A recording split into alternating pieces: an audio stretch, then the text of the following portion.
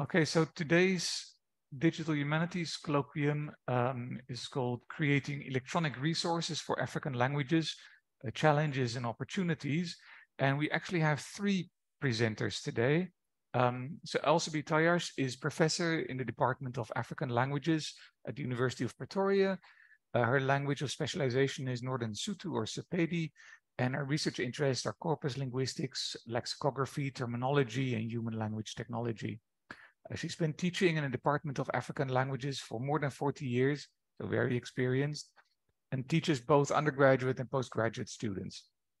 She's authored or co-authored 50 articles in accredited journals and regularly reads papers at national and international conferences. She's currently co-manager of the University of Pretoria digitization node of SADiLaR, uh, which is a government-funded project uh, which has as its focus the creation of digital resources for African languages. She's also one of the editors of Lexikos, an accredited journal that publishes articles with a lexicographic focus, and she's an NRF-rated researcher. Um, then uh, the second pre presenter is Danie Prinsloo. He's a professor emeritus in African languages, also at the University of Pretoria. He's a former chairperson of AfriLex, a former head of Department of African Languages and a chair of the School of Languages. Uh, he's well known for his groundbreaking research in corpus-based African language lexicography and is the author or co-author of more than 100 publications and an equal member, uh, equal number of conference papers on this subject. Uh, so again, another very experienced um, researcher. He's received several awards as exceptional academic performer and as his centenary leading mind from the University of Pretoria and a PANSALB Award for his contribution to multilingualism. He is currently co-manager of the UP uh, digitization node of SADiLaR. And um, the third presenter, also from the University of Pretoria, uh, Michelle uh, is a part-time lecturer, uh, also in the Department of African Languages. She's also a PhD student and her field of uh, specialization is terminology. She was the project manager of the Open Educational Resource Ter Term Bank, the OERTB, which focused on the collaborative development and dissemination of terminological resources. She is currently the project manager of the UP digitization node of SADiLaR. I think based on, on, on these brief bios, we can kind of guess what this uh, presentation will be about. Um, so I'm very curious to hear more about the um, the digitization um, um, project that, that that you're running. Um, I'll shut up now, and the the the the floor is yours. I'm not sure exactly who's going to present first. I'll share. I'll stop sharing my screen as well, so you can take over.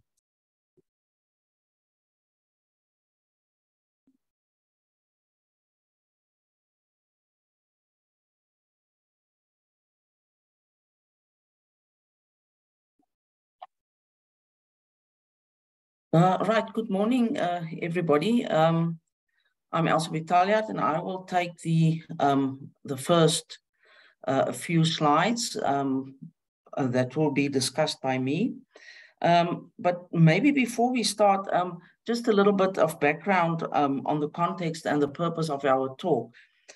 as we understood the directive uh, from SADiLaR, the purpose of this colloquium was to share in a in a slightly less formal manner the work that is done by the uh, UP digitization node, um, specifically with the aim of exploring possible collaboration uh, with other interested parties.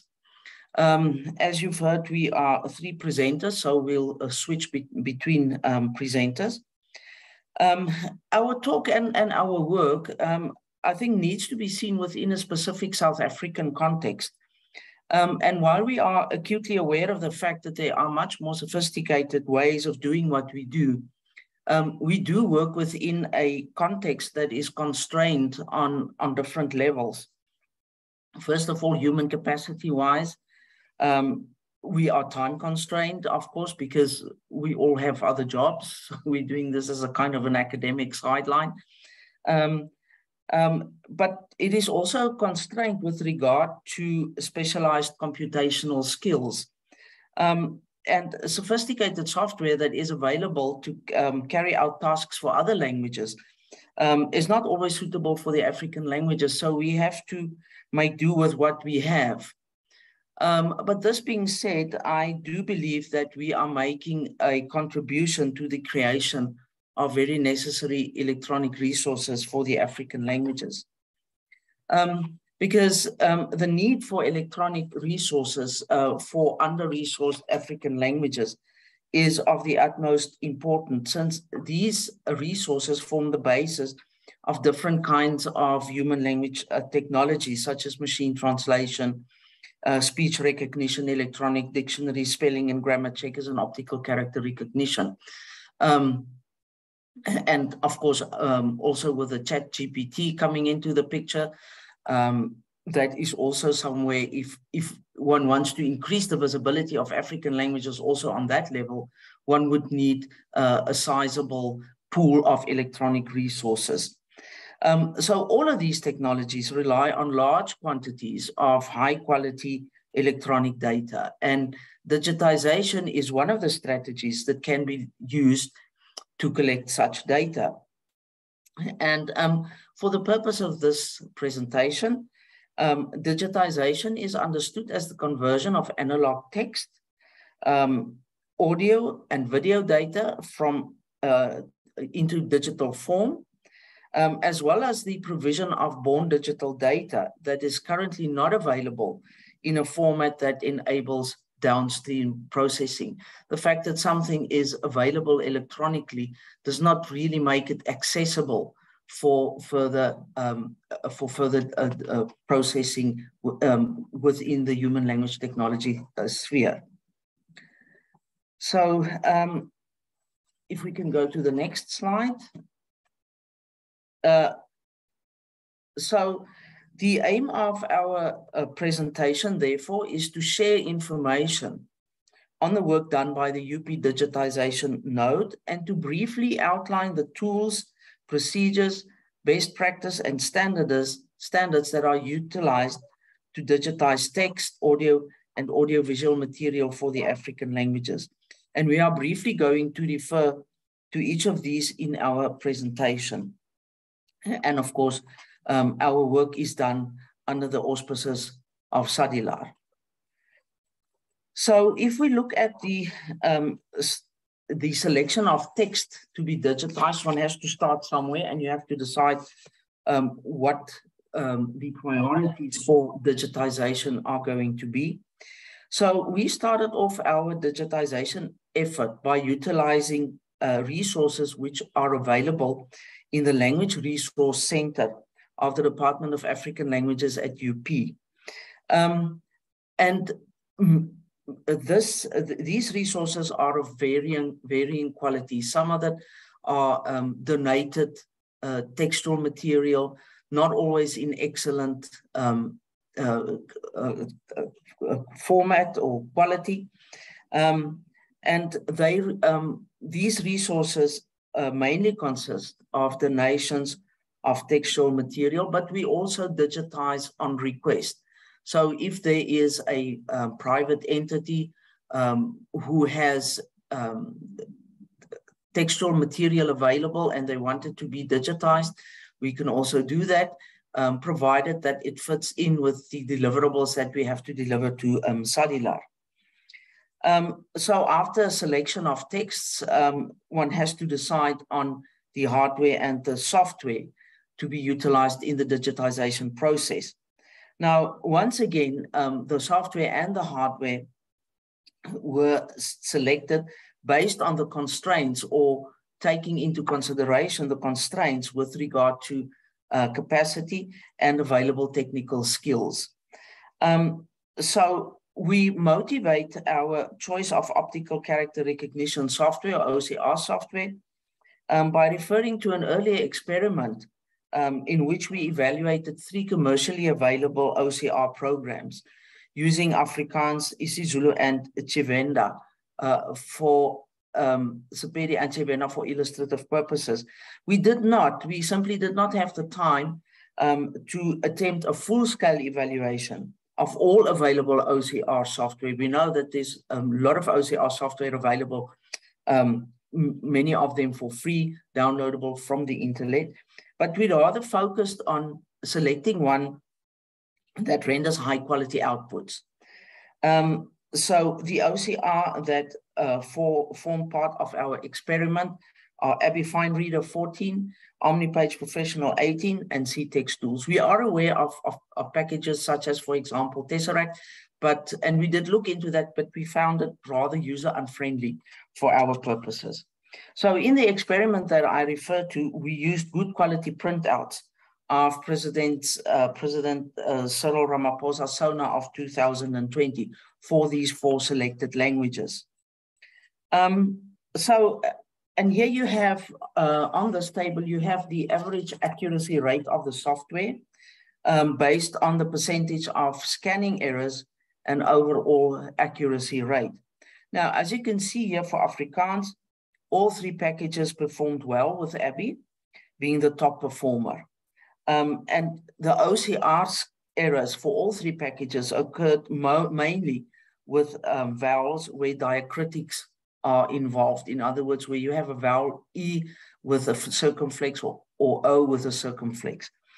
Um, then if we move to Sepedi, ABBYY once again performed best, closely followed by the CTExt tool.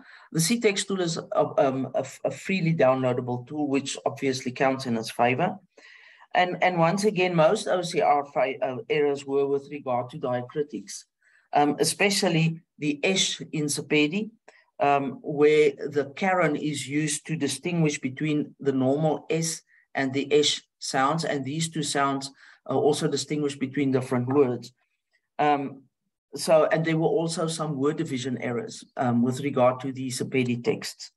Um, the same situation for isiZulu. Here, typical errors were omission of characters for some reason.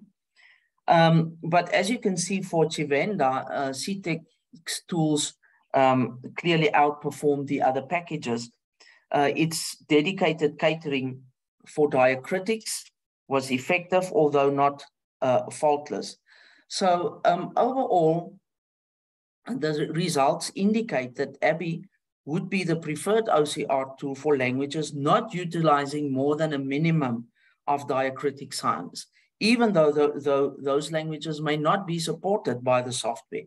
But for languages such as Tshivenda, which makes use of four consonants with a circumflex accent below and an overdot for velar N, uh, CTExt tools would be the tool of choice.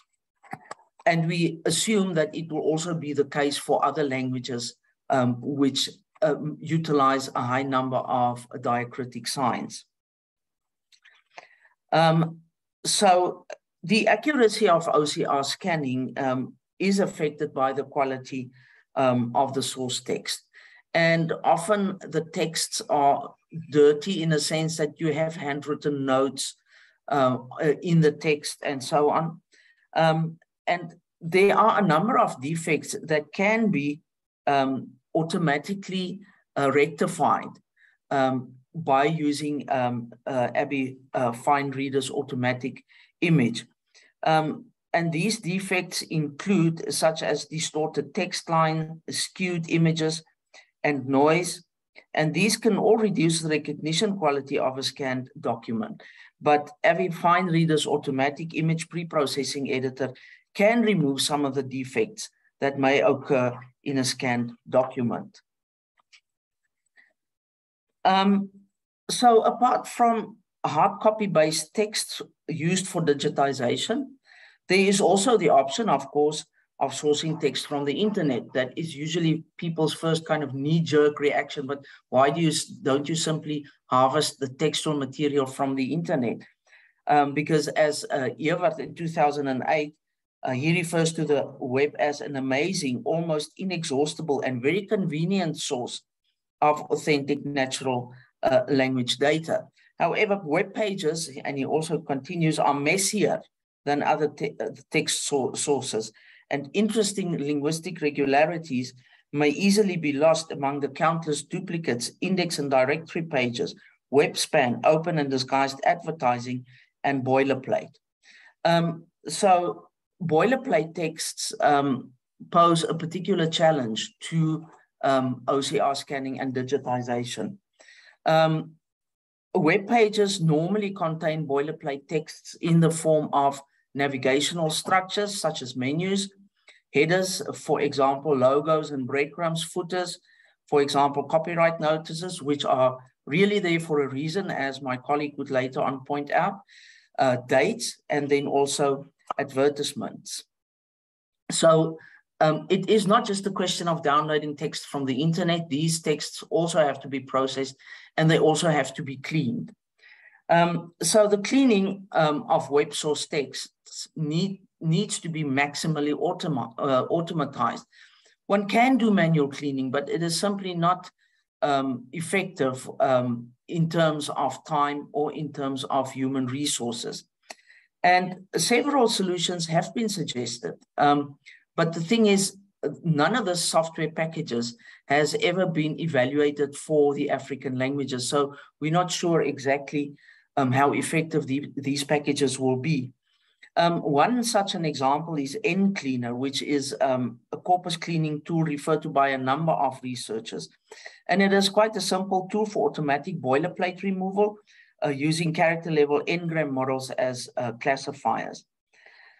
Um, although the proposed solutions may be um, useful for large web sourced material, it has limited applicability, especially for the African languages, due to these languages' low visibility on the internet.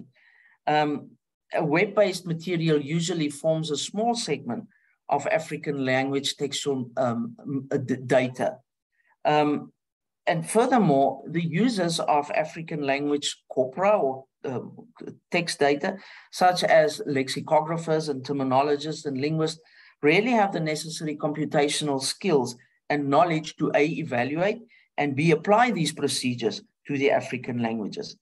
Um, and utilizing these strategies for text cleaning requires a high level of computational knowledge and skills.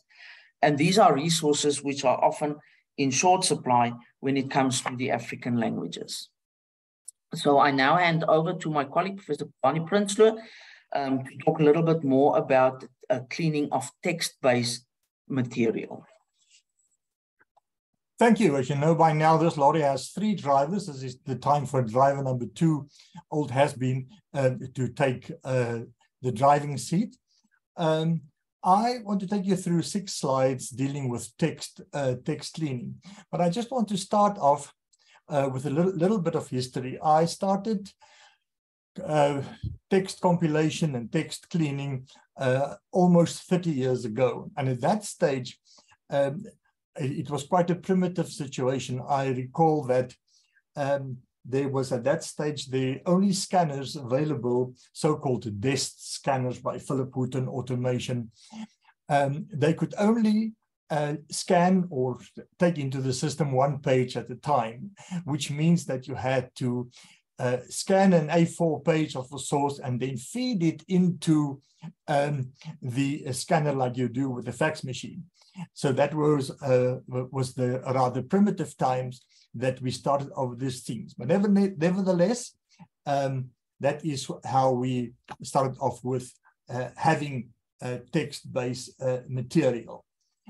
Now, uh, cleaning these um, materials uh, requires less a, a, specific computational knowledge uh, than cleaning web sourced material as Elsabé has just discussed. Um, in my view, I deliberately, deliberately also always try to um, keep things, activities or suggested activities within reach of um, ordinary uh, uh, skilled computer users. We don't always have the time to run to programmers to do things for us. So many of the suggestions that I will make here uh, will simply be within the reach of, let's say, someone with reasonable uh, capabilities of, of com computers.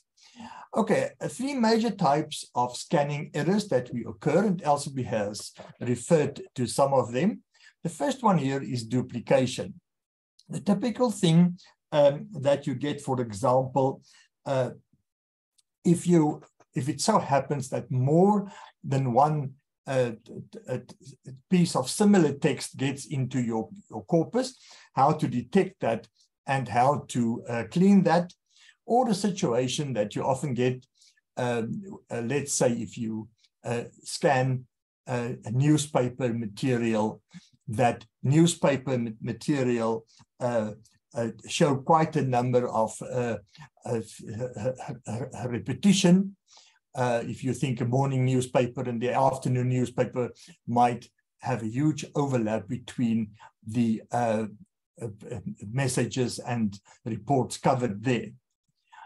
Then orthographical spelling and word division errors in the original text. Uh, Elsabe has said something about that in relation to web-based material. It's the same uh, with text cleaning. Uh, one uh, often find a lot of these things, uh, often depending on the quality of uh, the material scanned. And then she also referred to basic scanning errors.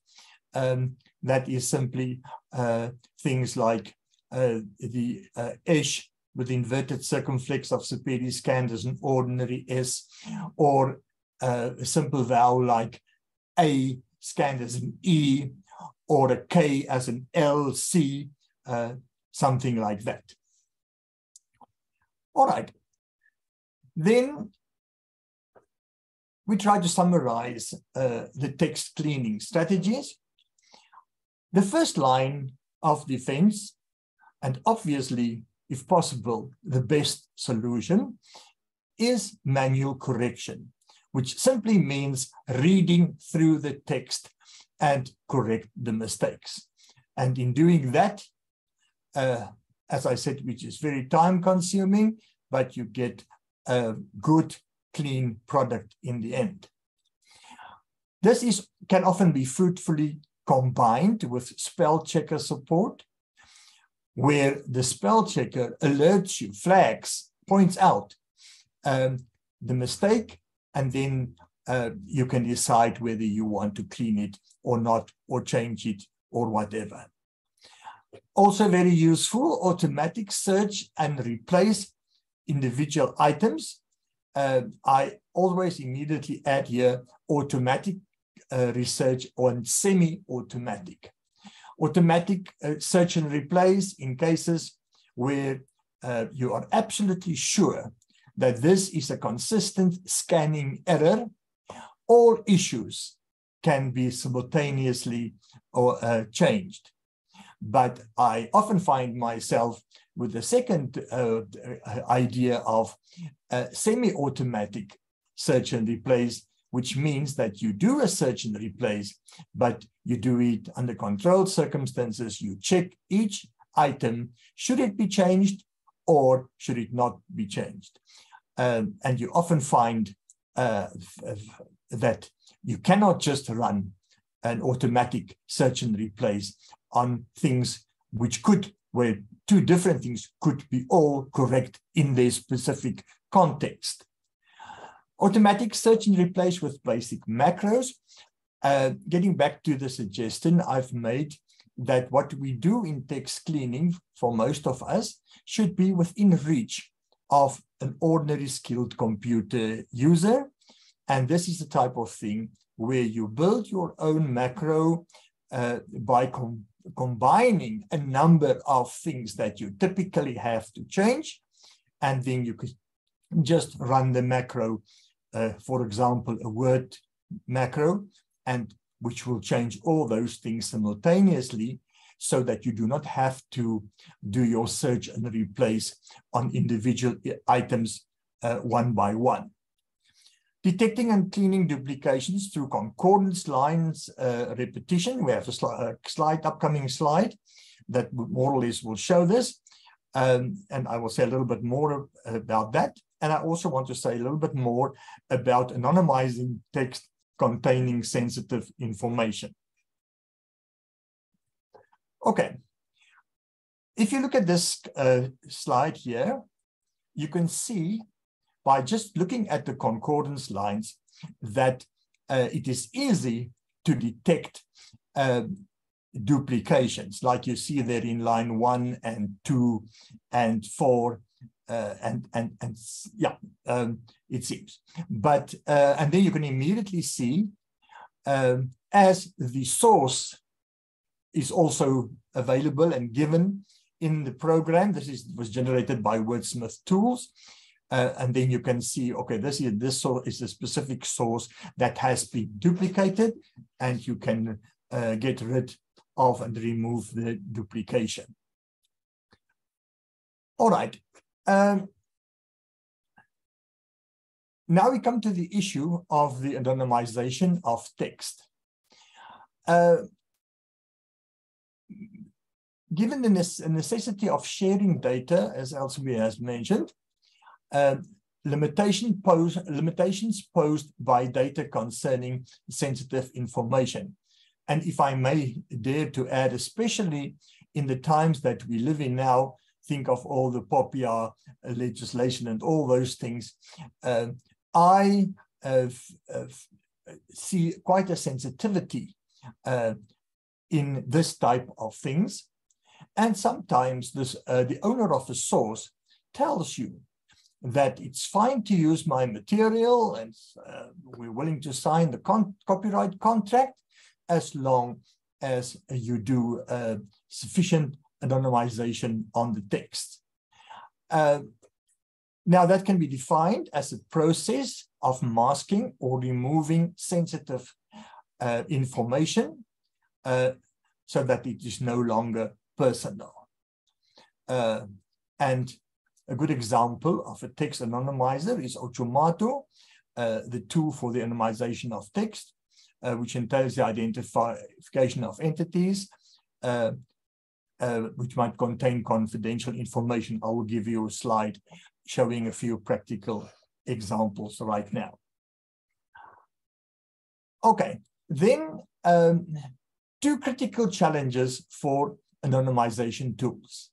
The anonymized text must remain readable, meaningful, uh, and useful uh, uh, uh for simple context-based analysis. Evaluation of performance of anonymizing tool is challenging.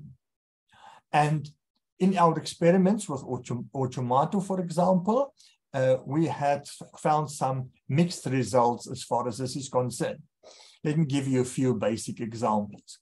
On the screen, you have uh, three sections, the input section, uh, an output section uh, type one, and an output section type two. I'm going to quickly compare uh, the input and output number two. If you look at the green, the words marked in green, uh, for example, La Morena and Tato, um, in the input, you will see in output two that La Morena has been changed to Labone and Tato to uh, Farisa. But uh, you can also immediately see, uh, if you look at the red ones, uh, those are also items that preferably should have been changed uh, by uh, the software, and it simply did not pick it up. Especially concerning, for our purposes, in this example, uh, in red there is uh, uh, University of Pretoria and the name Elsabé Taljard. Um, and uh, those are uh, names and entities that should have been changed, especially in our case, uh, the University of Pretoria. Uh, we don't want that to be missed by the anonymizer. Okay, um, before I do my uh, final slide, I believe. Uh, I just want to uh, give Elsie an opportunity uh, and ask Elsie, is there anything that you would, would like to add to these six slides on text cleaning? Uh, no, I don't think so. I think you um, you've covered more or less all.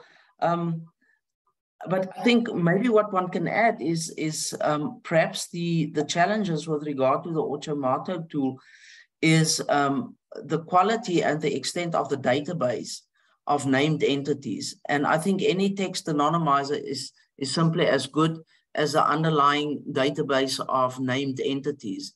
So uh, the, of course, the, the bigger the database, um, the better the anonymizing tool will be in the end. Um, so I think it's not an inherent flaw. I just think that um, maybe the database needs to be of named entities needs to be extended.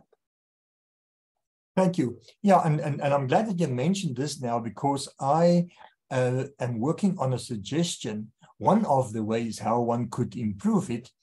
Um, if you think of spelling checkers, um, the, the concept of the custom dictionary in a spelling checker, uh, a list of words that you compile as time goes on for your specific situation, which then are considered by the spelling checker um, very successfully.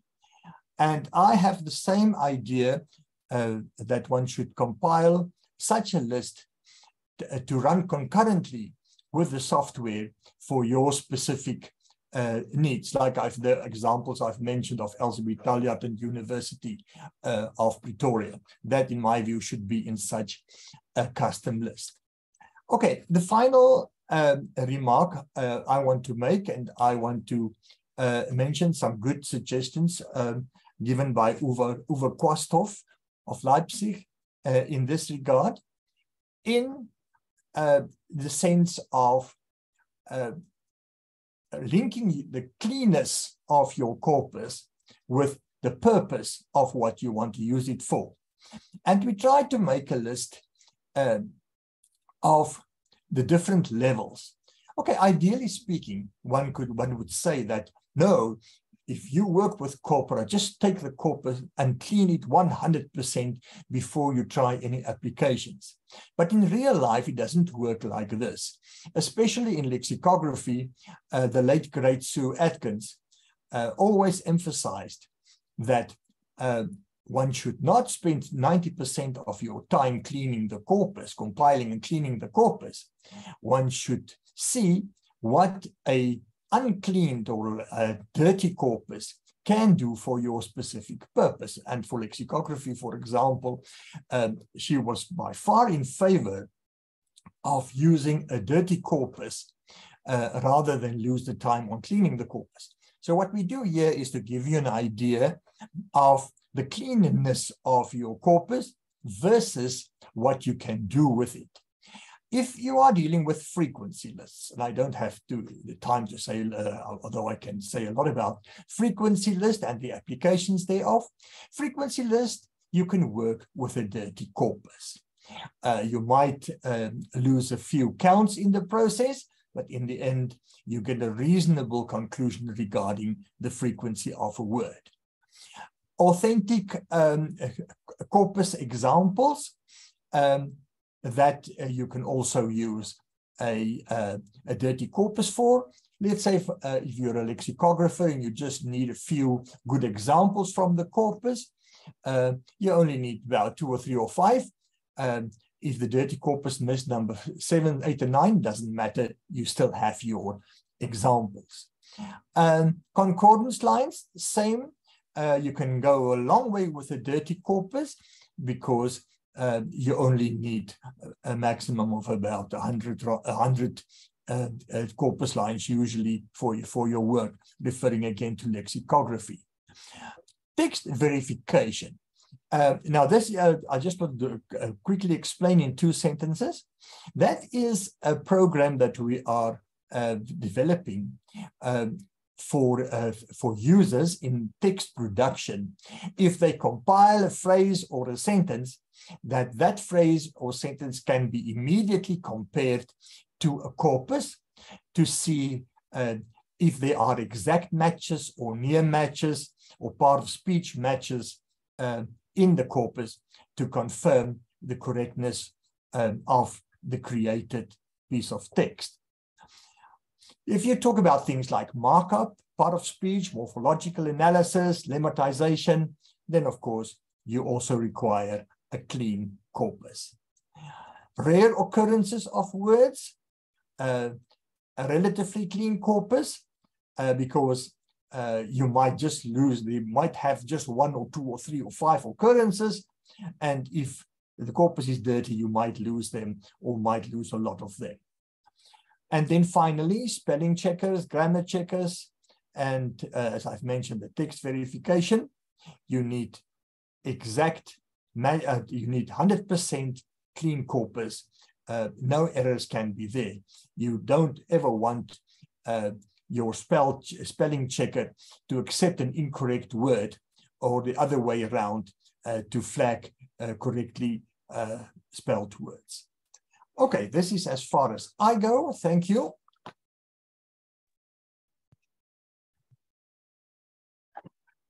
Yes, so um, yeah, good morning. I'm Michelle Goosen and the third driver of this lorry, and I hope I don't crash it.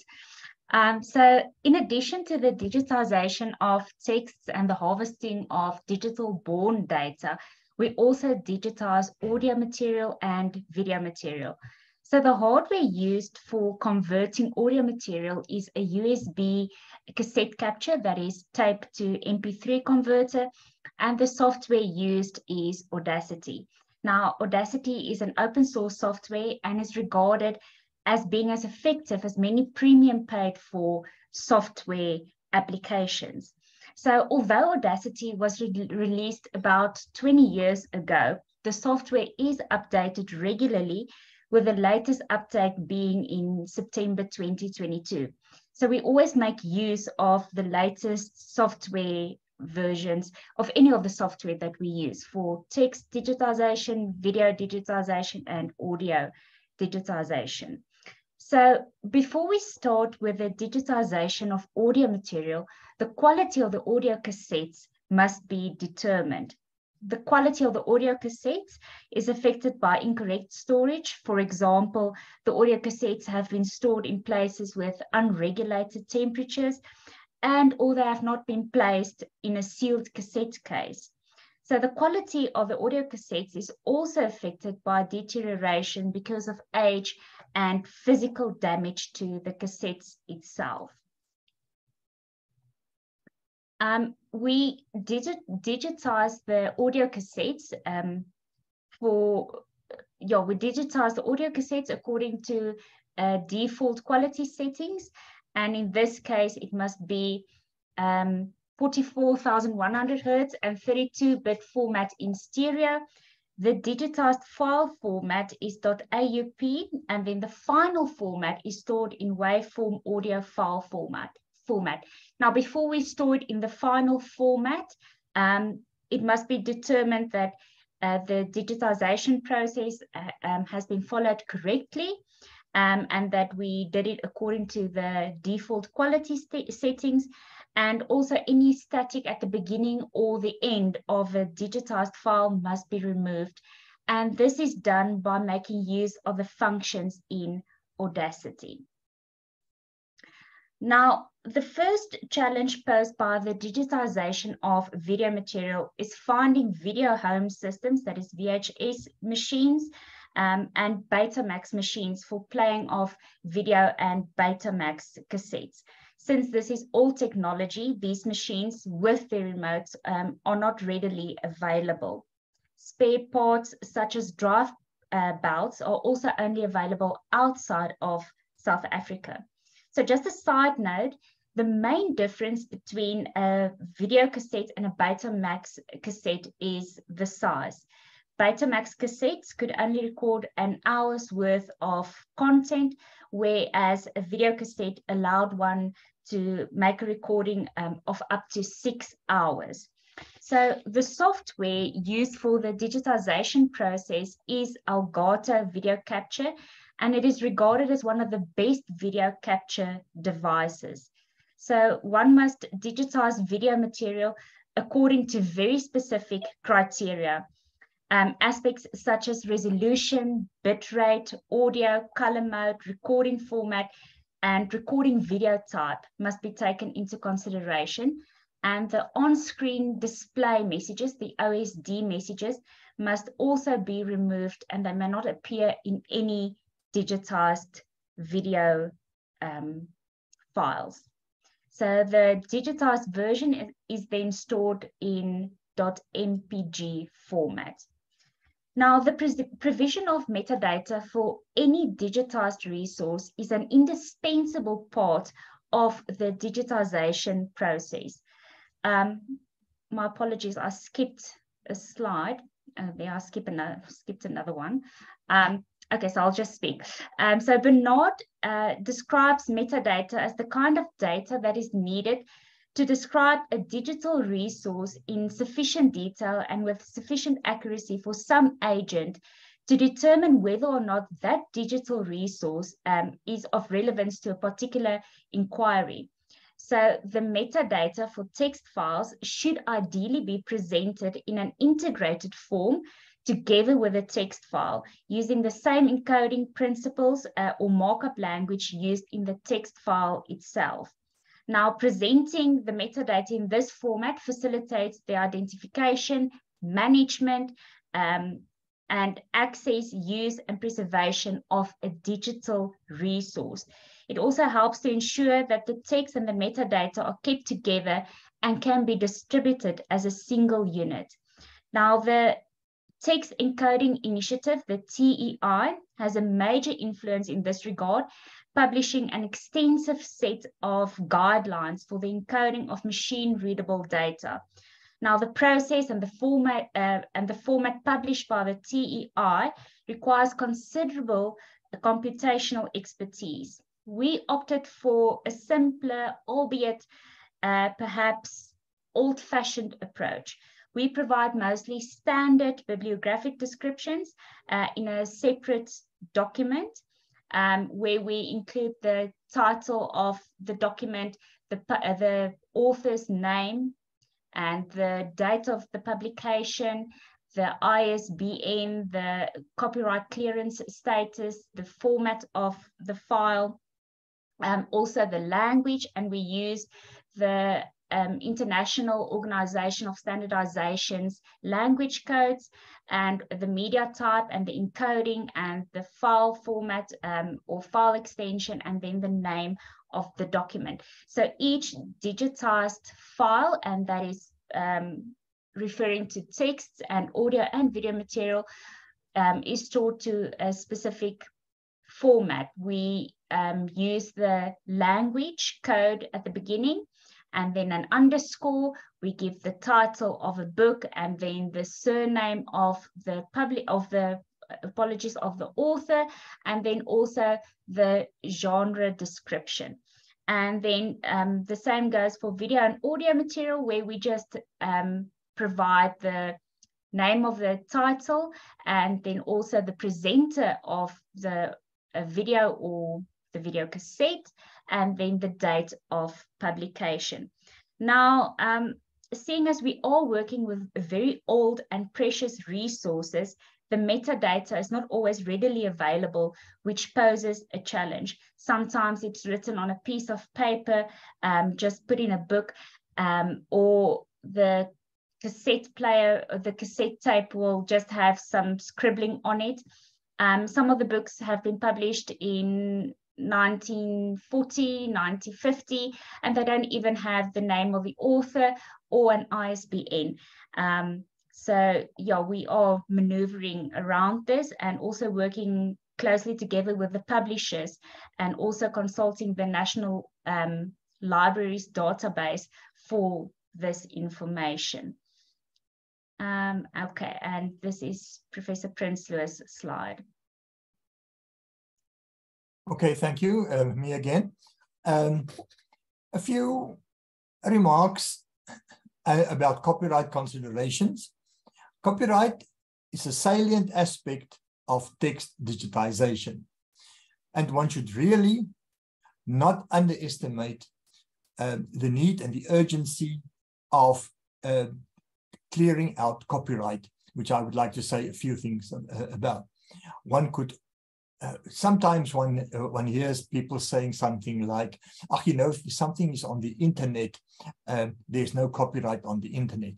This is totally wrong and to- and very dangerous um, to say uh, things like this assumption.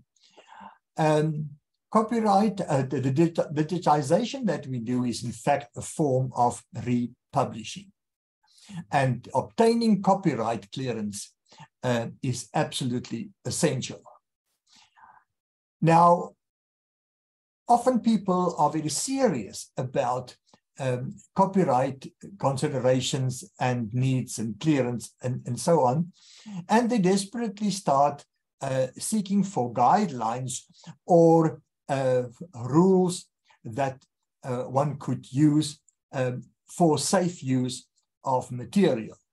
And the first thing that often comes up is the idea of fair use.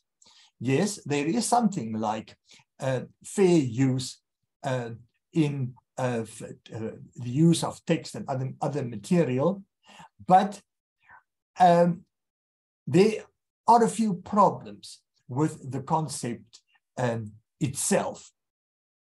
Very often, if you, uh, let's say, go on the internet at, a site having images, then they will see, they will say something like, okay, these images are copyright free. But the moment you get to the image, it says um, pending copyright permissions. And the only way that you can do it is to apply for copyright. So you're more or less back to, um, to square, square one. And um, I've attended a full day conference once uh, uh, uh, presented by a legal expert on copyright. And at the end of the day, I was still quite unsure about what can be assumed and what can be taken for, taken for granted and what, what, what not. Sometimes people say, no, it's about percentage. Uh, you're safe if you uh, do not uh, copy and use more than 10% of the source. That is not so. A single page, if it's the crucial page uh, in a text, um, can land you into copyright trouble. So I came to the conclusion, and I might be wrong, I very often am, but I see no safe generic copyright rules um, for text scanning. And the only thing that we revert to or regard as safe is obtain the explicit permission of the copyright owner. Very often, uh, copyright holders are prepared um, to grant copyright. To give you an example, a publisher might not want you to use its material, but are willing to make an exception if you can uh, make substantial changes uh, to the text, uh, uh, which make it quite different from, from the original, uh, like uh, the phrase uh, sentence scrambling, for example. So all these are possibilities that you could suggest to the copyright owner, but my strong recommendation is always obtain explicit permission to the copyright owner. Okay, I'm going to ask Elsie uh, to add to the copyright issue because we have uh, been together in this dilemma for many years now and also to do the conclusion for us.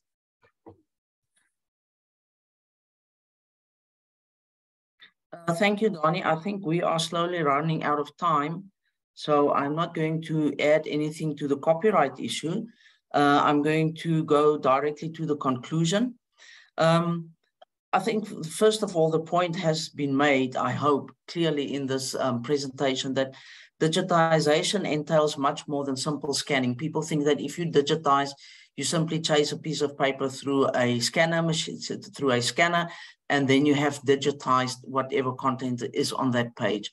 So as you can see, if you want to do it properly, um, there are certain ways and processes and procedures and protocols um, that have to be followed in order to make the data um, available for downstream processing.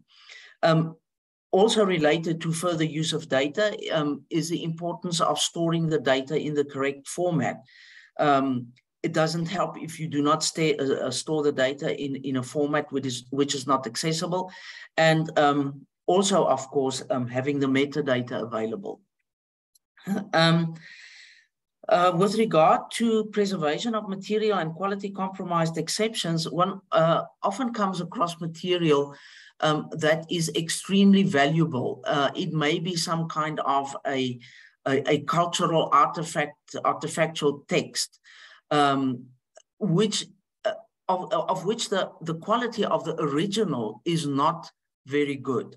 Then one has to try and say, well, digitization also has an um, as an add-on value, um, the function of preservation.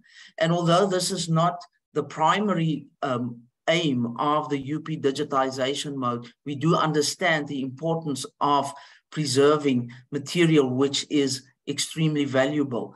So um, that is also a kind of an offshoot of what we do at the UP digitization node. Um, and then I think the last slide is just to acknowledge the, um, uh, the support um, that we receive from uh, SADiLaR, the South African Center for Digital Language Resources, of course, for which we are extremely grateful. Thank you so much. Okay, great. Thank you very much, um, Elsie, Danie, and um, uh, Michelle. Sorry, I was uh, reading some notes at the same time. Uh, thank you very much. I think we had a really nice ride um, with three lorry drivers. I see Michelle actually had a proper driver seat. I think that's why she was sharing the slides as well. Um, I see there is one question. I, I also have a few comments, but let's tackle that first question in the chat. Uh, can African languages be used for automated writing as it's done with AI tools? I'm not sure if you have any comments or. Um, I would, if I can come in here, Menno, um, of course it would be, it would be wonderful if it, if it, if we could have that. But at the moment, the answer is no. But um, I mean, uh, we as the uh, UP digitization node can always, you know, um, sell the data to the guys from ChatGPT, and then we can retire in in luxury. um, so um, no, at the moment, of course not, um, because we do not have the resources which are needed to design these kind of systems. systems. Yeah, thanks. If I can add to that, sorry, Danie? Uh, in, in principle, um, yes, of course, but I think there is a longer way um, for us to go to uh, or to reach that ob objective compared to other languages of the world. In this regard, I think uh, CText, for example, um, is making quite significant progress uh, in doing many of the underlying things like morphological analysis, part of speech tagging, and um, uh, all those enabling um, uh, things uh, needed for something like that. But I agree with Elsie that it's still a long way to go. Thanks, uh, Danie. Uh, I quickly like to add something there as well. So I think you're you're fully right, but now I think you're also underselling yourself. So the main uh, um, kind of source that that you need to have is a lot of text. So that's why it can be created for English, for example, and some other languages that have huge amounts of text. So if you don't have digital text available, then you can't do it. I mean, you can create these tools like CText are doing, but we really need to have a lot of example text um, from the languages to be able to, to build something like this. Yes, agreed. Uh, okay, I see a few thank yous. Um, well, thank you indeed. Um, so I have a few small comments. Um, so first of all, what, what I really like, uh, you actually just mentioned CText. I really like that you uh, you've used CText or you've analyzed CText or evaluated CText tools, for example. Um, so I think that's a nice example to see that you know the work that's being done in South Africa is actually useful. This is something specifically for the South African languages. Um, so this work is done and this is actually growing the accessibility of the language. I think that's that's that's really nice. Um, my my other comment, and I'm uh, while others are perhaps uh, typing in questions in the chat. Um, so you mentioned several times that you're constrained by by well a lot of different things, um, and one of them is expertise, and I think that is something that might be relatively easy to tackle. I mean, it's you can't magically create um, huge amounts of money or new um, uh, VHS um, uh, machines. Um, but perhaps we can tackle this this um, expertise constraint. So how can we, uh, and especially now we have a few people here uh, in the meeting as well, how can we kind of train others to help with the digi digitization of these language resources. Um, so for example, training related to metadata, or if you don't have the actual machines, you can't do the scanning, but perhaps you can do um, some some some cleanup. So how can we how can we tackle this problem?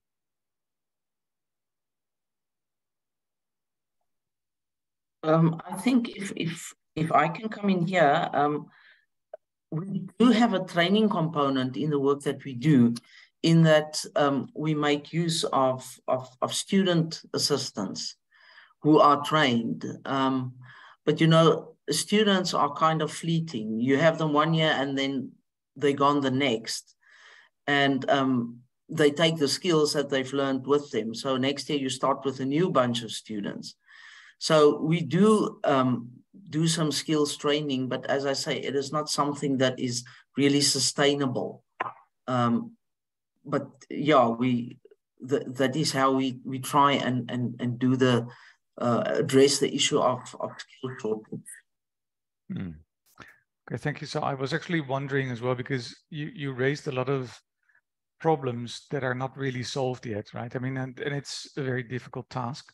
So something like um, possibilities for student projects. So I don't know exactly how the educational system works in, in South Africa. Um, but I, in the Netherlands, when I was still living in the Netherlands, I supervised a lot of master students where you can actually get a lot of the kind of small problems and it's it's safe because it doesn't directly influence the work you're doing, but they might actually come up with very interesting solutions to um, say specific data cleanup uh, for African languages. I'm not sure if that's if, if, if you do that as well, or if so. If people here might be interested, where where would they need to go? Where would they start?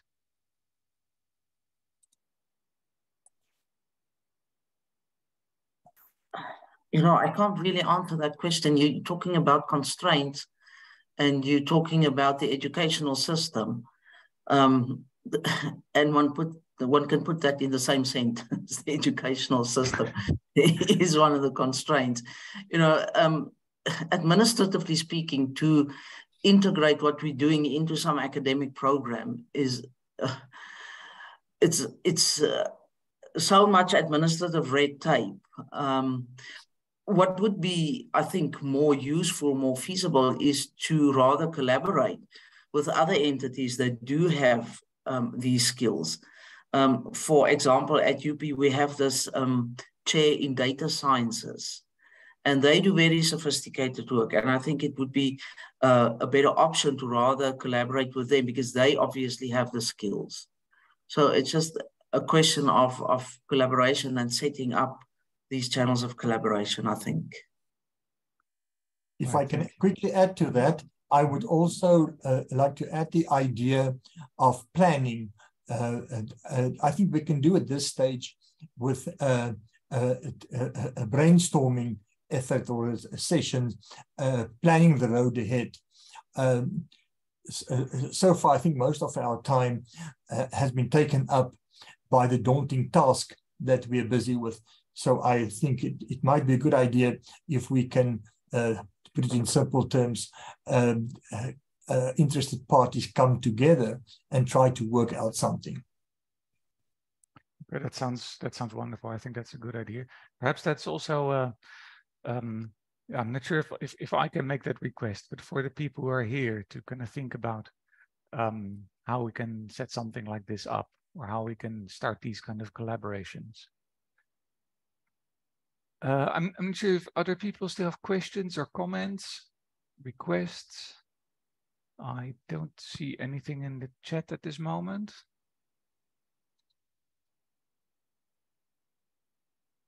Uh, Sisanda? Uh, thank you very much. And thank you so much to the presenters for the interesting presentation and the great work that you're doing. I would like to find out um, with all of the work that's been happening at the center, are your resources that you have maybe already worked on publicly available for people who are wanting to research the content. So I know obviously the presentation today was about the process, but um, with, with everything that has gone into uh, creating these uh, digitized resources, are they at all available in an open access uh, platform and format that other people can access? Uh, if I can answer that, um, yes, some of the work that, that, some of the material that we have um, processed is available on the SADiLaR uh, um, resources platform. Um, some of the textual data and so on is available. Um, we have one problem, we're struggling to get copyright. Um, so we cannot release the data before the copyright clearance hasn't been done.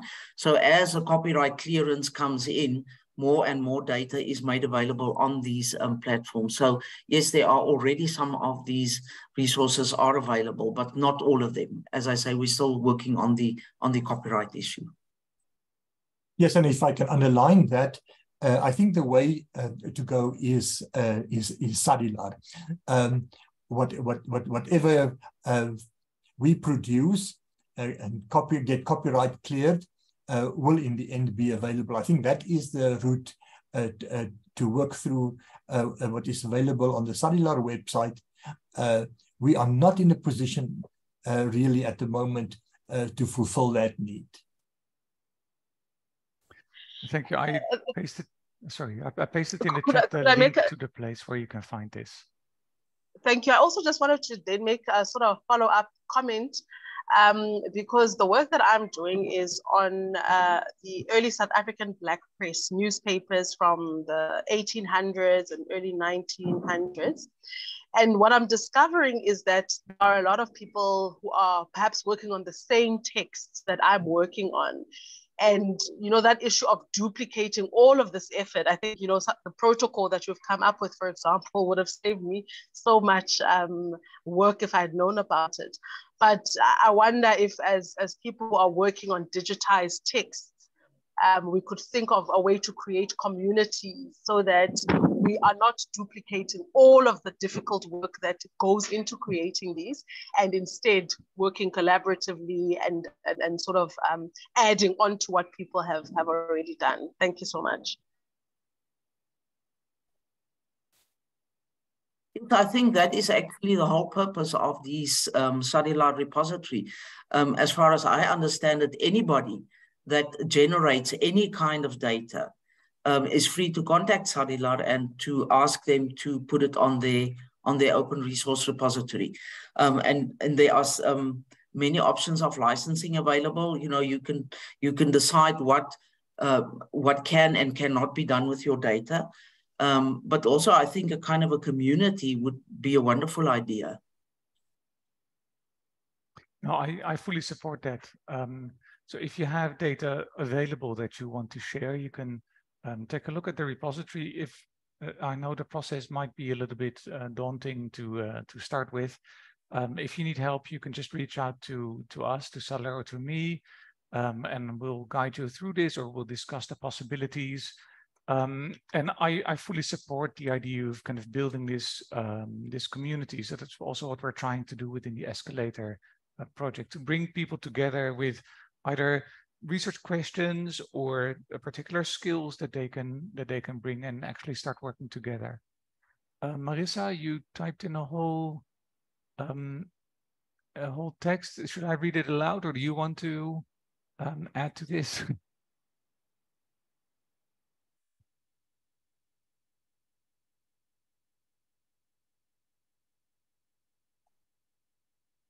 Marissa? Okay, let me just read it then. So Marissa says, we've also played around with the idea of creating a database of expertise, a simple contact list of all the H stakeholders have access to, um, to uh, that list and the very specific projects and skills that have been created by the various training opportunities in the project funded by SADiLaR, for instance, having such a shared database uh, as LinkedIn of sorts might help us build on already um, established skills or see where we're lacking in practical experience and target those skills in future training. Uh, I now see that her connection is really bad. Um, we actually started with this as well within the uh, Escalator project called the stakeholder map. Um, let me quickly find that link. Um, so you can um, you can put your information on there with, and or you can search for um, people and projects, etc., um, happening inside South Africa. So this is the link. Um, And of course, this can only be a success if people actually put in their information. So we're still trying to find people who are willing to, to put in their names, their expertise, perhaps projects that they were running. And if we can actually kind of collaboratively find all that information, then we can, um, uh, we'll, we'll make it easier to collaborate, I think, or find each other.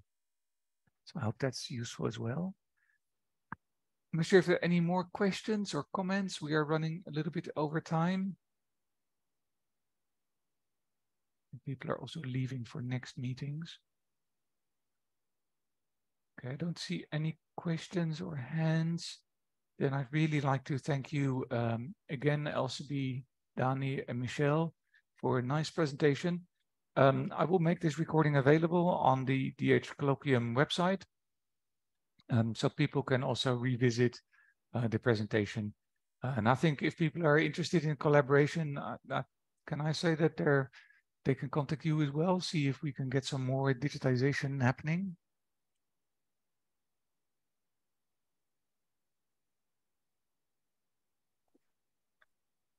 Uh, yeah, I guess from our side, thank you for the opportunity and thank you to everybody who attended. Thank you very much. Thank you very much from my side. Okay, wonderful. Thank you. And thank you for taking the time to give this presentation. And I'll stop the record.